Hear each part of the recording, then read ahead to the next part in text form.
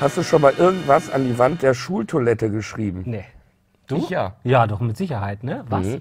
Ich bin der Erfinder des Toilettentennis.